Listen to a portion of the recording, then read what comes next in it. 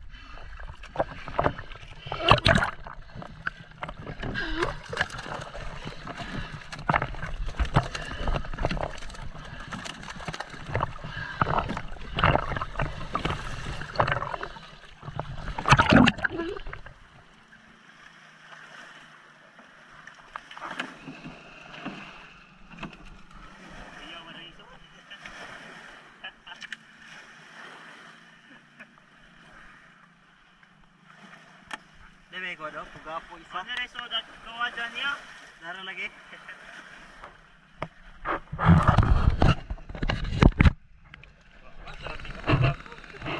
Thank you.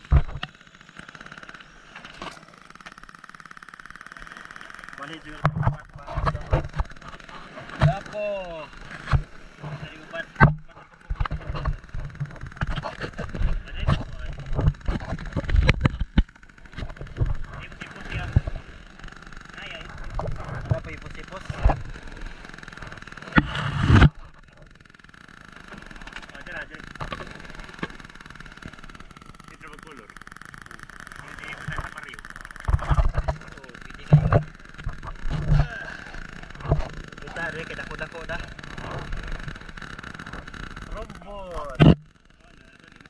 nah, nah, nah, nah,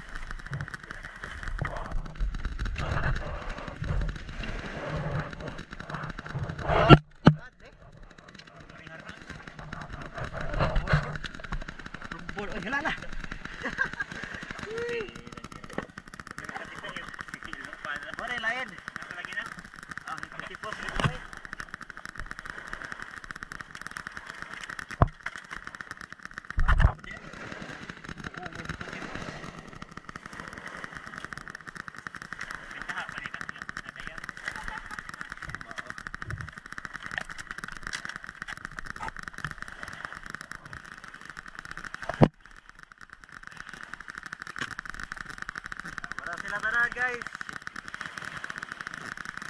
Gamay ra. Pero okay na na kaysa wa.